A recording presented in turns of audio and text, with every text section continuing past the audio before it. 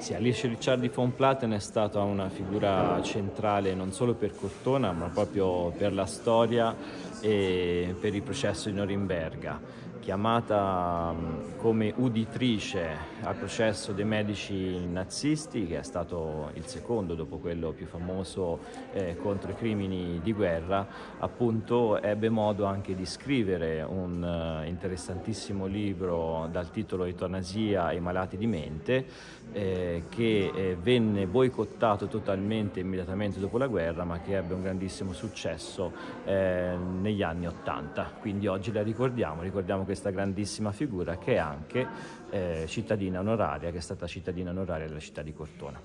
Quando Francesco Attesti mi ha chiamato per fare questo intervento e leggere alcune cose tratte dalla Shoah, io subito di getto ho detto sì, poi preparandolo mi sono accorto di una cosa fondamentale, che non era adeguato, non era adeguato, non tanto come attore, quello sarebbe il meno dopo, dopo tutto quello che ho fatto nella mia carriera, io penso di non essere adeguato come essere umano, ma, ma chi potrebbe essere? Chi potrebbe essere?